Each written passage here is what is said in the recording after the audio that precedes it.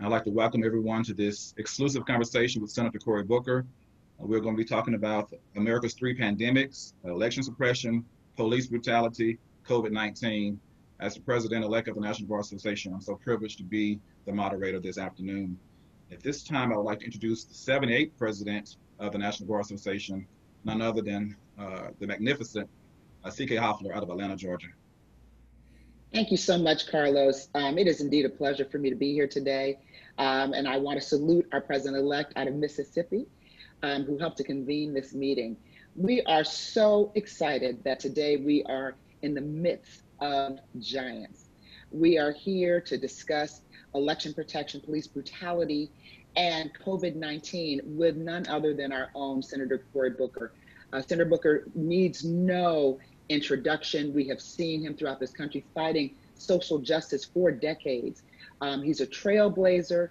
He is absolutely extraordinary. He's a torchbearer of justice. And I know, Carlos, that you were going to introduce Senator Booker, but I just had to say a few words about him. And, and today, we're also announcing another historic partnership with LexisNexis.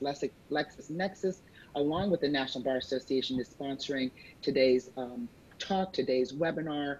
And we are delighted that we are in the final throes of a global partnership with a giant in the industry, a corporate giant who is committed to social justice. And representing LexisNexis today is the Executive Vice President and General Counsel, Ian McDougall, who is going to speak to us briefly as well. And I, I, just can't say this how delighted we are by the partnership. This is the first time that the NBA has had this global partnership with LexisNexis. And so, uh, Ms. McDougall, we welcome you to our National Bar Association family, and we thank you and salute you for um, our, our global efforts. This is a multi-year global partnership. It is. Thank you. It's a it's a pleasure. Can I just spend a minute, just a very very brief uh, introduction? I just wanted to say that for more than a decade, um, LexisNexis has been leading the fight amongst the business community to advance the rule of law uh, around the world. And uh, during that time, we've been arguing, and regrettably, recent events have proved us right, uh, that the fight for the rule of law is not a developed developing country dichotomy. Um, almost all the countries um, around the world, um, developed and developing, have their own set of challenges to advance the rule of law. In LexisNexis' view, the rule of law means an independent and impartial judiciary, access to the laws, access to remedy, and most relevantly for today's purposes, equality before the law. It's therefore self-evident that LexisNexis stands firmly against racism and discrimination. Without the rule of law, there are no human rights, and equality is a human rights issue after all. And so now, confronted with the stark um, reality of systemic racism in society, our role in advancing the rule of law becomes even more important and fundamental to progress across a whole range of subjects. Our 12,000 colleagues make an active and positive contribution to accelerate equality for all under the law, and we've made commitments to addressing racial injustice and inequity for the African American community, and additionally we'll take important steps to address the needs of other communities across the company and across the world in the coming years. Uh, the company, um, ours is a long-term commitment, and I hope you've seen that by the relationship that we've uh, uh, launched um, today guided by our mission to advance the rule of law, the knowledge that everything else depends upon advancing the rule of law, and our overall inclusion and diversity strategy. Now, as a key component of this strategy is our new and strategic partnership with the National Bar Association. We want to look forward to collaborating on efforts, including uh, this program and other initiatives, such as the development of technology tools to combat systemic racism and racial equality. And while we want to assist the NBA's efforts to serve its members and the community, I'm very excited at the opportunities we can create.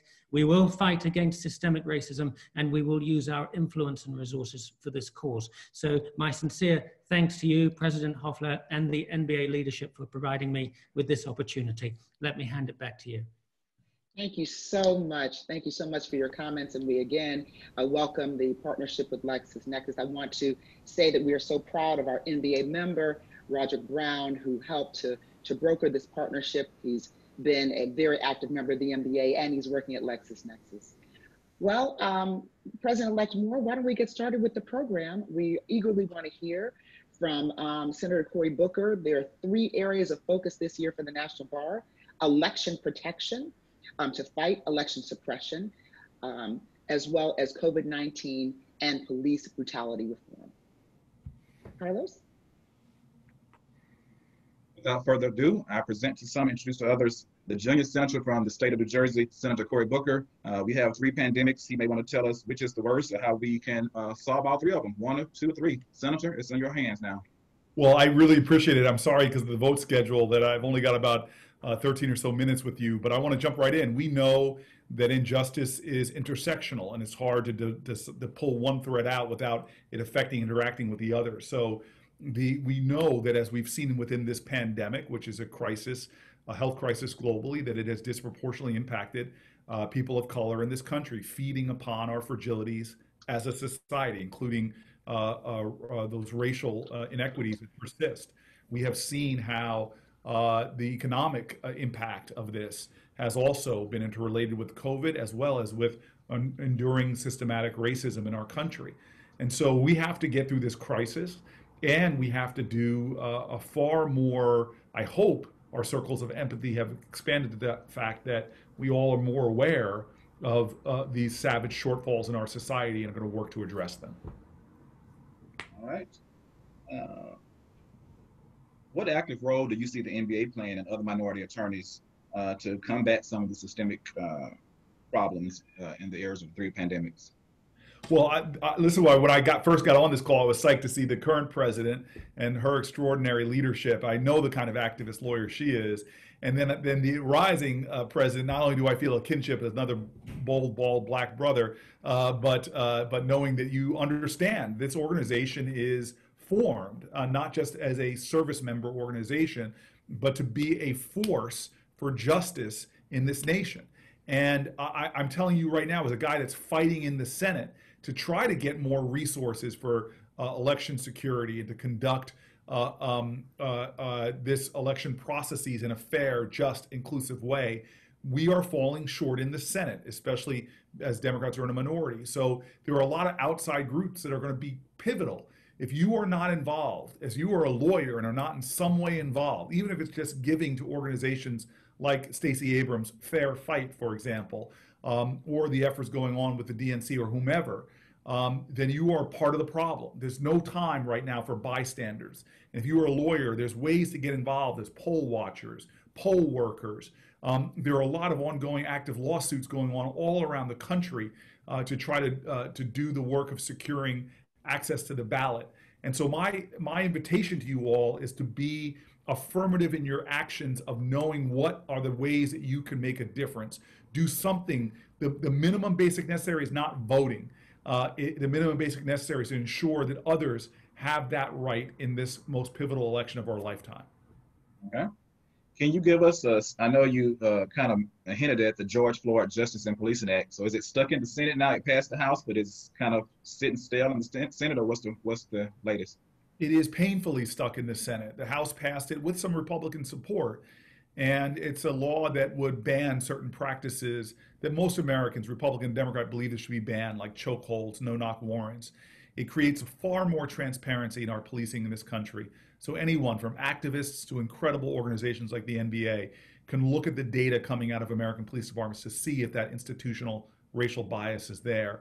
And of course, it allows those police officers who break the law violate people's rights to be held accountable in federal uh, courts. It gets rid of things like qualified immunity as well as uh, the standard uh, for which they can be held accountable for reckless use of force. Uh, now, to get it done, it, look, we would not have gotten it through the House of Representatives if it wasn't for the activism, the artistry of activism going on in all 50 states uh, around this country. Activists made it possible in the same way they made the Voting Rights Act possible, the Fair Housing Act possible, the 1964 Civil Rights Act possible. It was all the result of people's activism. And so right now, it stopped in the Senate. But should we take control of the Senate and have the majority, I am confident that this will go to Joe Biden's desk should he win. And that's why this is one of those elections where healthcare is on the ballot, where voting rights is on the ballot, where justice and policing is on the ballot, environmental policy is on the ballot. So much is at stake in this election, which is again an, another reason why your earlier question of what can we do uh, is so critically important that all of us are asking asking ourselves that question. Seven weeks left in this election. Every single day, we should be asking ourselves, what have I done today for this moral moment, for this cause of our country leading into the election day? Okay. Senator, the last time I saw you, we were together here in Mississippi. Uh, John Lewis was still alive. It was 2018. We had the grand opening, uh, our grand opening of the Civil Rights Museum. So we were appreciative of you coming and so privileged to have uh, Congressman Lewis with us as well. He's since gone on uh, to be with the Lord, but I believe there's a Voting Rights Act in, in Congress. I don't know if it's the John Lewis Voting Rights Act. Can you tell us if that's what's what's the latest on that? Yeah, Mr. President, like I'm sorry that you had to bring up that uh, really auspicious historic moment. For me, it was very humbling because people kept thinking I was you and, uh, and and stopping me. Look, I I am thrilled um, that John Lewis lived such a life worthy of celebration. I'm sad to have lost my, my friend and colleague, but God, we should we should be celebrating that we had such a historic figure who lived his entire life in service to sacrifice. But what a painful reality for him to watch uh, the Voting Rights Act that he bled for uh, be undermined by the Shelby decision that, that gutted the, the Civil Rights Act. And that's why the House did the right thing. They named the next Voting Rights Act after him to make sure that uh, everything from the pre-clearance measures to uh, making registration to vote much easier all of these things that are being done to erode the franchise in this country, this is a robust bill, both to fix and advance voting rights in America. And I am thrilled. I am very hopeful that uh, that this can be something that we get done. It is within reach. The House is going to get it passed. It comes back to my turf, the United States Senate. And so I know what the battlefield is for me. Um, it is uh, these a lot of these Senate races from Maine to Iowa to Colorado to Montana to South Carolina, Georgia. I could go through all the competitive Senate races there are, uh, including, frankly, Mississippi. Uh, and so we we've got to make sure that we are involved, not just our focus on Kamala and and Joe. Uh, trust me, I, I've got my Kamala dance. All when she wins, I will shed tears of joy and celebrate at this uh, incredible marker. But I know that is not uh, the be all and end all. We need to get the White House back, but also control of the Senate, get Mitch McConnell into the minority. And even then, I hope you all will have me back on for another Zoom to tell you that, look, that victory got us out of the valley, but it did not get us to the mountaintop, and we got work to do. Absolutely. Our president. Um, um, Carlos, I, I just like to, first of all, Senator Booker, thank you so much. We know that you have to leave shortly. I wanted you to know that the NBA has a robust election protection effort. We are mobilizing over 5,000 African American lawyers. We've identified 22 of the worst states with election protection. We're doing training in all those states. We are mobilizing in our communities with the religious groups, other grassroots organizations. We are not standing by and being bystanders as an organization, firstly. Secondly, we are making calls to the Senate. We're very aware of where the, the George Floyd Policing and Justice Act stands and we are not going to stop until it passes. Our NBA Vice President, Lonita Baker, was lead counsel for Breonna Taylor. She and Ben Crump. And so a victory on that case that just happened, that historic settlement that also had programmatic initiatives, changes in the policing, mirrors in some respects what you're trying to get through in the Senate. So I just want you to know that we have your back on this in terms of the and it is a nonpartisan effort, our election protection, but we have your back on this. And we thank you so much for all that you do. Madam President, uh, thank you for informing me, but I am in no way surprised. Not only do I know this organization, uh, but I know you and uh, your leadership, the vice president's leadership, the incoming leadership.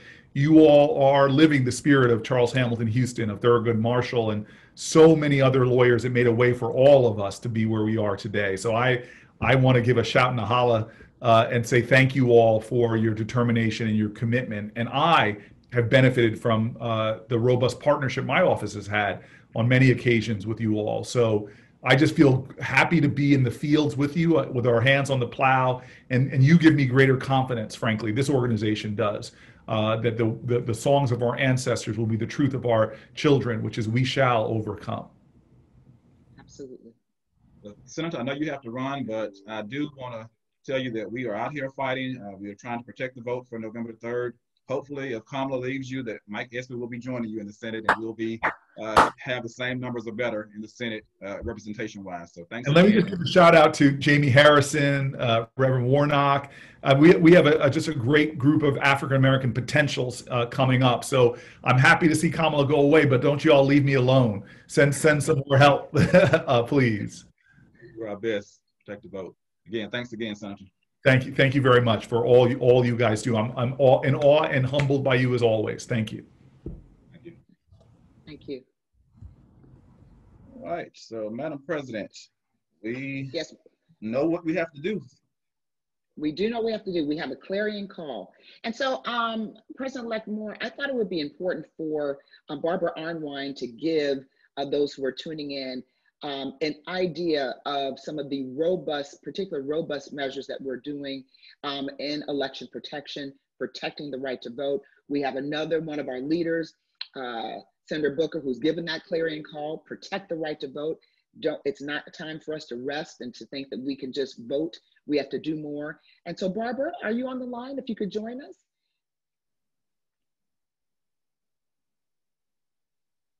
Well, while we're waiting for Barbara and um, Carlos, you are co-chairing the election protection effort. And um, as many of our members know who are tuning in, we have an upcoming conference, the Wiley Branton Conference, that is that will begin on October 15th and through October 17th. That conference is pretty much exclusively dedicated to election protection, protecting the right to vote. We will then, two or so weeks before the presidential election, conduct the training seminars for 22 states and also other related seminars so that our members and our coalition partners will be well equipped in the election protection effort. Because quite frankly, right now, um, this week will be the first, um, the first um, set of marches to the polls where there are some states that already have early voting. And we have our teams led by Barbara Arnwine, Transformative Justice Coalition, one of our coalition partners, Rainbow Push Coalition, another coalition partner, and the National Bar Association and, and others to protect the right to vote. I think Barbara Arnwine is online. Are you ready to speak, Barbara? Yes, I am. I apologize. I was on the wrong stream apparently, um, and I am just um, trying to. Uh, oh, there we go. Now we're ready. Thank you yes. so much. I was on another call. We are organizing Senator Booker. Thank you so much for you know your presentation. I was helping. We're organizing marches all over the country uh, to have uh, make sure that voters are aware of early voting season and that they participate and that they have help and to register, help to you know get their votes done, help to restore their rights if they're in those uh, states where if you're you know formerly convicted of a felony, you have to restore your right. Petition to do so. So there's so much going on, but we just had you know a national call. It was very uh, energetic. Uh, thank you, uh, President uh, Hoffler, and thank you so much, President-elect uh, Moore. just want to say to everybody, we need you. You've heard that but we need black lawyers.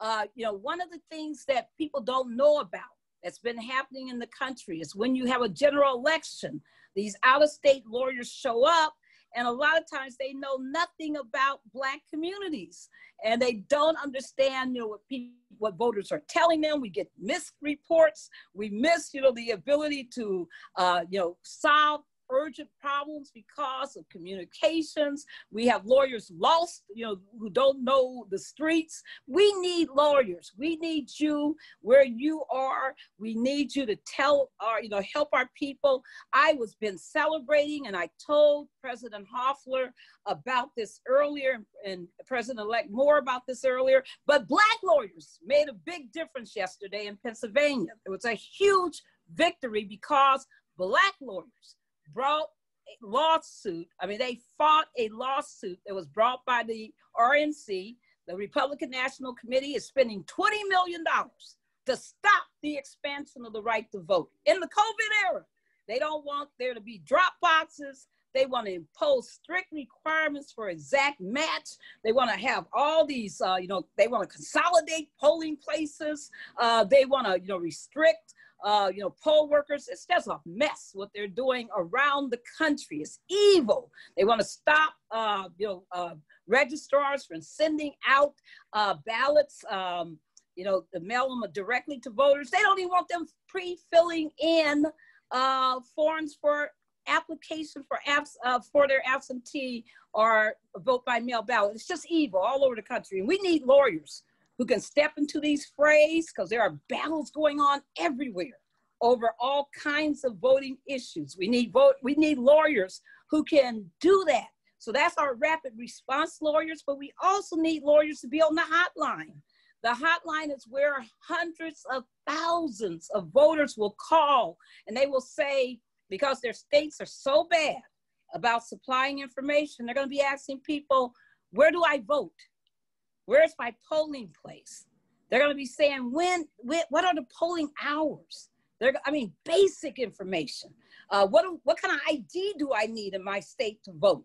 They're going to be saying, what do I do? I'm here. It is 7.30. The polls were to have opened at 7 o'clock, and it's not open. Uh, President Hoffler can tell you she's been in that situation. Or, you know, I'm at the polling place and we've been here for an hour and they're out of ballots. This has happened. I'm telling you, it happens. Well, how, how, what do I do? How do I vote? How do I, you know, they're telling me I need to vote provisionally because they say they can't find me on the list and I'm sitting here with my uh, my voter registration card with my ID, and they're telling me they can't find me on the polling list. And so, you know, all of these things happen, and that's why the hotline is so important. I've sat on that hotline, I've answered voter questions. I tell you, there's no greater feeling than when you solve that problem that they have and they're able to vote. There's no greater feeling than when you call up a county board of elections and say, this is what's happening, uh, you know, at this polling site. This is what's happening at other polling sites. And all of a sudden they say, okay, we got to get out an emergency notice to every polling site to tell them how to handle this uh, problem and stop it. Uh, stop what's happening to the voters. Uh, so I just want to, you know, put that appeal out. Also, at the polling place, we need people to be field volunteers, to be, you know, poll workers. Uh, and when I say that, I mean to be poll monitors who will be sitting in your cars. Some of people will, you know, walk the lines and will help voters who are at the polling place uh, to solve problems. A lot of problems you can solve right there. I have helped, uh, you know, advocate for voters at polling places, people who were told that they could not vote because they had the uh, different uh, address and they were at the wrong precinct, all of those issues. And it often turns, it turns out that the information that they have is just wrong. And we've been able to correct it by sending them to the correct pages, the correct places on the poll book uh, to confirm. So we need you to be there to help voters, to inspire voters. But lastly, besides those four things I just talked about, we need you to be a captain for the hotline, to supervise five uh, of the election protection hotline volunteers. We need you to be hotline volunteers to pick a you know four hour shift that you can uh, do or more. We need you to be uh, you know a rapid response attorney to help us with the litigation, and we need you to uh, be you know a poll uh, you know a poll monitor. But we also need you to do voter education. The states are horrible at voter education. People literally don't know what to do. What do I do if I request a vote by mail ballot, an absentee ballot, and doesn't show in time? I don't get it. I'm sitting up there and it's October the 31st. I have nothing. Uh, what do I do? Do I go to the polls and uh, vote? Can I vote? How do I vote? All of these issues, we need to help voters. Uh, we so we need you to be educating people about when they should be requesting their application in those states that require that. Now, remember, there are nine states that have no such requirement. They mail the ballots directly to all their voters. Uh, and you got to know those things, and we got to help voters to know those things. So I just want to put out a huge appeal be an election protection volunteer, be an election protection volunteer. Uh, B1, we need you desperately. We need you to do that work Uh, we can't tell you how important you are to every voter. I've never, ever in my life, as long as we've been doing election protection, we created it and it was operational in 2000 and 2001. Ever since, I have never encountered a voter who wasn't jubilant, happy when we were able to solve their problems or give them the information they needed. Because people want to vote, let's help them to do so. Thank you so much, President Hoffler. Well, thank you so much, Barbara Arnwine. You've been our senior advisor all last year in the election protection effort in building the program. You and Tanya Clay House.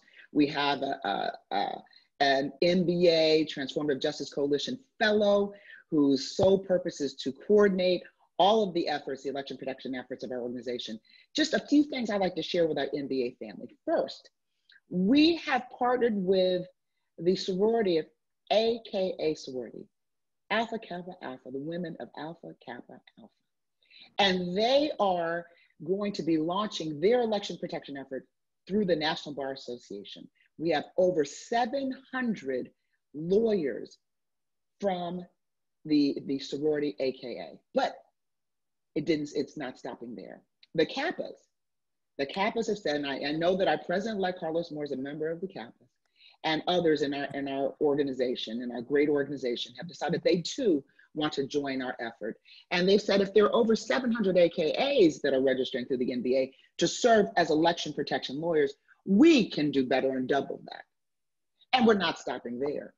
I got word recently that the gentleman from Omega Psi Phi have said we are Omega Psi Phi till the day we die. And if the Kappas feel that they can that, that they can um, bring over a thousand, we can do better than that. So I, I'm joking with you all a bit, but the point that I'm making is the lawyers in our organizations around the country are stepping up to the plate. Our job at the National Bar Association is to one, train the lawyers, two, make sure that we direct and organize a fine tuned, well oiled machine leading up to the elections to place our lawyers. Barbara Arnwine has, on, has outlined five ways that you can help. You don't have to feel pressure to be at the polls. We are operating in COVID. We understand that, but there are so many things that you can do at your desk if you're working from home, working from home, or working at your office. In terms of we have partnered, we are so delighted about our partnership with LexisNexis. I say that it's global, it's historic. We're inking the final um, terms of it, but we had to have support of some of our partners in our, our global quest for equality and for protecting also the right to vote. That's one of our equality measures. It's so important. So please know members of the National Bar Association, we are working day and night to put together a program that is second to none in this country. We are leading the way with the nonpartisan election protection effort. Barbara Arnwine, the reason why she's speaking so much on our platform all the time is because she's the mother of the election protection movement. She started it, she created it, she crafted it when she was at the Lawyers Committee for Civil Rights. Now she's the CEO and founder of Transformative Justice Coalition, another partner of the National Bar Association.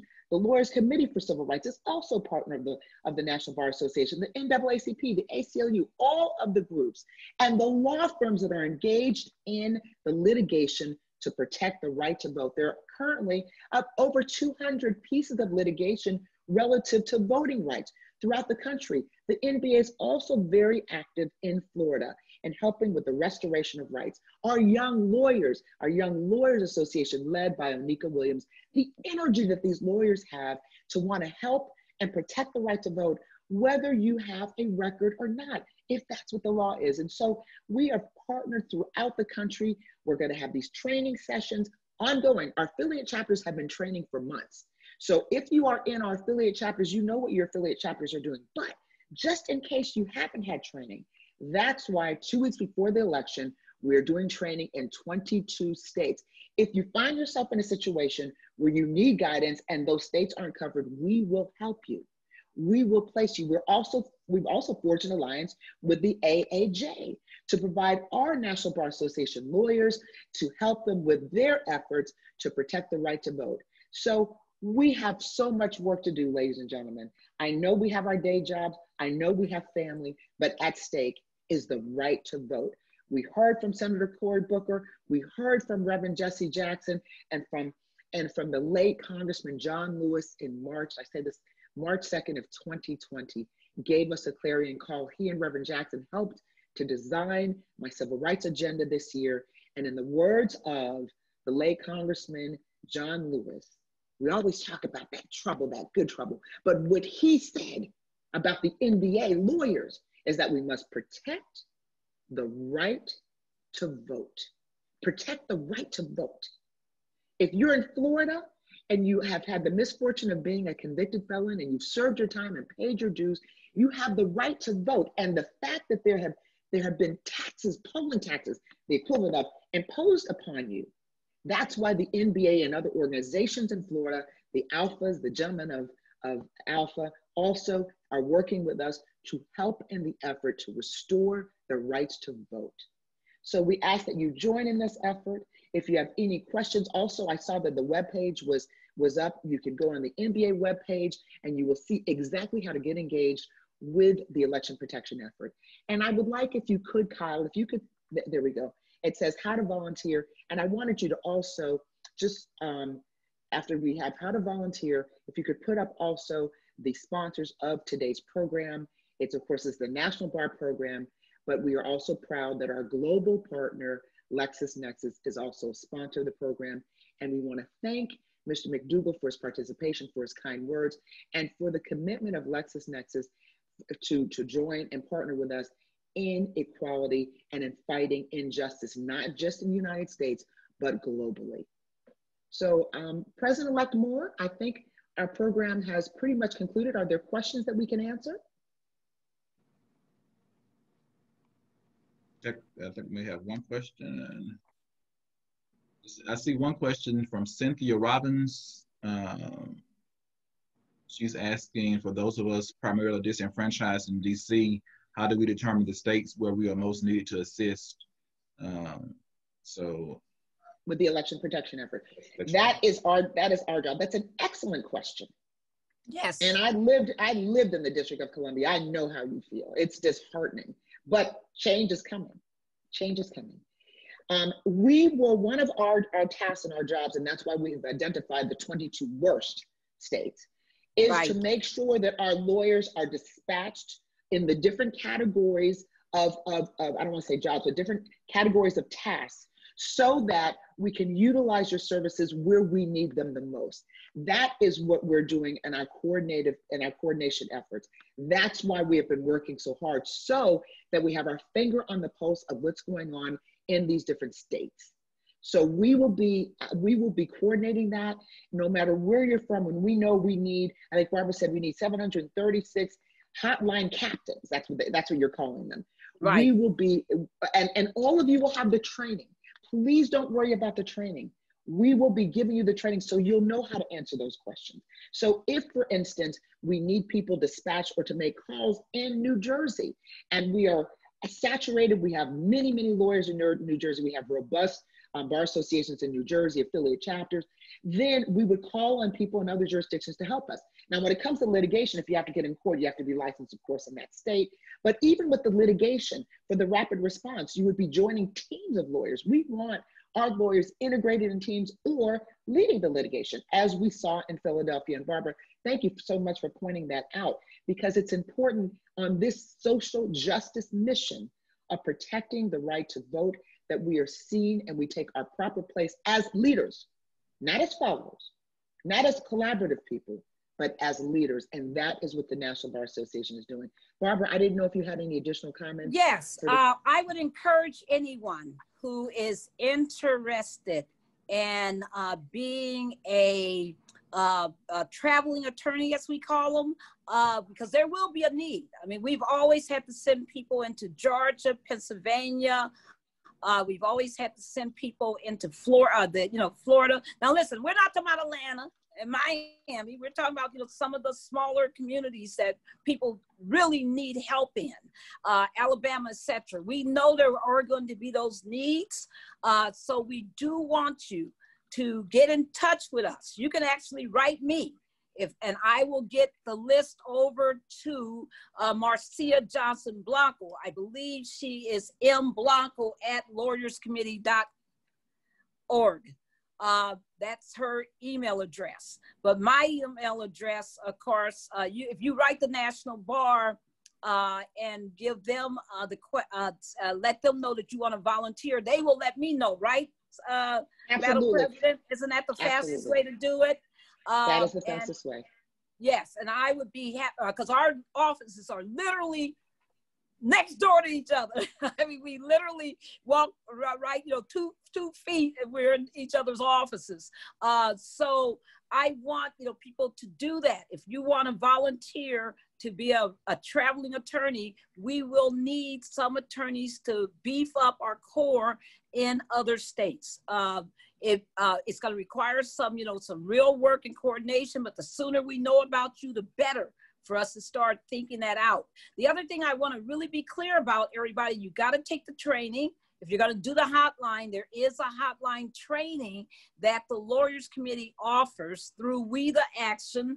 You should always sign up with the NBA first, and then we're going to send you to where you have to get the training uh, done. Uh, but uh, in addition to the training that we will do, you're going to be one of the best trained lawyers uh, sitting on the hotline, one of the best trained lawyers uh, doing this work all over the country because we're supplementing the training that you mandatorily must take as part of the election protection hotline uh, network. Thank you. All right. Any other questions? There are two more are questions, Madam questions? President, and I okay. think we'll be done. Uh, Reginald Virgil asked the question. His question is: Is there any way we can push to make Election Day a national holiday? Yes. Yes. Uh, if Eric, yes, absolutely, and we should. Um, you know that should be on the NBA's uh, you know primary uh, agenda. You saw that because of the good work of people in Virginia, this year, uh, Election Day will be a holiday in the state of Virginia. Uh, and people are doing that all over the country. So we absolutely want you, if you want to see it become a national holiday, to join us in pushing for that because there's a lot of efforts to do that. I also will tell you, in my personal opinion, having election day as a national holiday is critical, but remember that for African American people, if given the opportunity to vote early, uh, we will vote 50 to 70% to 80% of all of our votes cast will be early. We prefer to vote early. And that's why we fight in the states for early voting also. That's as critical as the national holiday. It's, in fact, probably more critical. So that's where we also need to be putting a lot of our energies is expanding early voting. If you have at least two weeks of early voting, including Saturdays and Sundays, it's magical for Black folks because that's what we do, and it's magical for Latinos. All right, and as Wonderful. you saw, we have a friend in Senator Booker. I believe he's one of our members of the National Bar Association. He's a lawyer, uh, and he is a friend of ours. And so we'll, uh, if he's not already uh, leading the charge to get this a national holiday, we'll put that bug in his ear when we're lobbying on the day on the Hill. Uh, Absolutely. The last, the last question I see, um, Ernest Elmore is asking, are we familiar with an effort to disenfranchise protesters, protesters in Tennessee uh, by the governor yes. uh, changing assembly and protest violations uh, from a misdemeanor to, to a felony of the legislature? Are you familiar with that? Oh, yes. Okay. Absolutely. You know, the uh, Lawyers Committee for Civil Rights and um, the ACLU, the NAACP have been all over Tennessee. Remember, this is like their third ugly proposal they come up with this year. Uh, 2020, they've been actively uh, trying to disenfranchise voters all over the place. This is their la- latest uh, assault. We absolutely are looking at, uh, you know, absolutely lawyers are taking that on. Uh, we're not going to sit back and let them, you know, penalize protesters and, and uh, in essence, destroy the First Amendment. so, Yes, very much so. And thank you for raising that because that's one that's kind of gone under the radar nationally, but it's a vicious attack on protesters. So, as we're talking about that, as we're talking about that, this is an opportunity for some of our NBA lawyers to be engaged. That's an example of election right. protection litigation, protecting the right to vote. So, and, if there are those, oh, I'm sorry, if there are those who are interested in being a part of that, there are litigation teams. They always need more lawyers. And remember, you don't necessarily have to leave your home. We understand they were operating in COVID. That's very, very important. Go at your comfort level. There are many of us that will be going to the polls. But for those of you who are not comfortable, you should do what makes you comfortable. And while I'm speaking of that, the NBA is going to be providing protective gear. And we talked about these 22 different states, and, and we've also identified certain cities, protective gear, including masks, um, the, the plastic shields, gloves, and hand sanitizer, as well as water. We're currently negotiating with various water companies to provide free water throughout the country in certain places in partnership with the National Bar Association. Um, later, you will have the opportunity, hopefully we'll have it done by the end of this week, to donate directly for the protective gear on our website. That will be separate and apart from any donations you would make to the National Bar Association. It would be directly for the protective gear. So I just want to make sure that the, that you all know, as our NBA family and extended family, that we are operating on all levels in terms of protecting the right to vote. We have to recognize that we're operating in COVID. Part of operating in COVID is helping people with protective gear, helping people with transportation, as our members did in our affiliate chapter in um, um, gosh, in so many states. I know that we helped in Philadelphia. I know we helped in Georgia, and I know we helped in um, Memphis too, and other places where there were issues with transportation, or when we also know that some of the precincts were closed. Our members helped to, trans to give transportation, to provide water to people who were just waiting in long lines.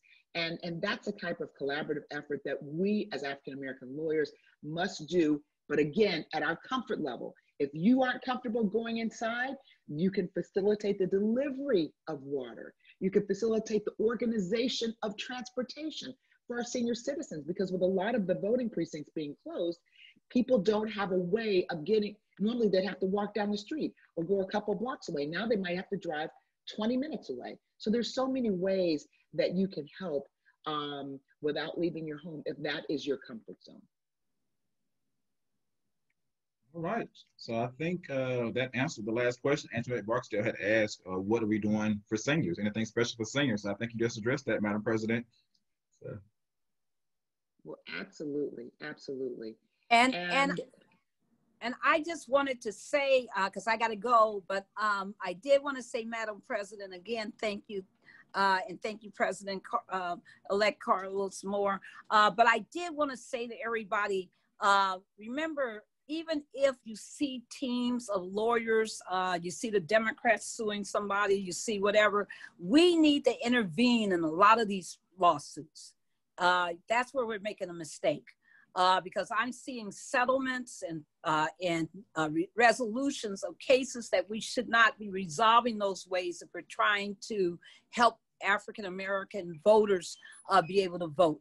Uh, so we need to make sure that we're intervening so we can protect the interests of our voters the best. So that's why we need you on the litigation front. We need you on the hotline. We need you at the polling places. We need you so bad uh, in this uh, fight.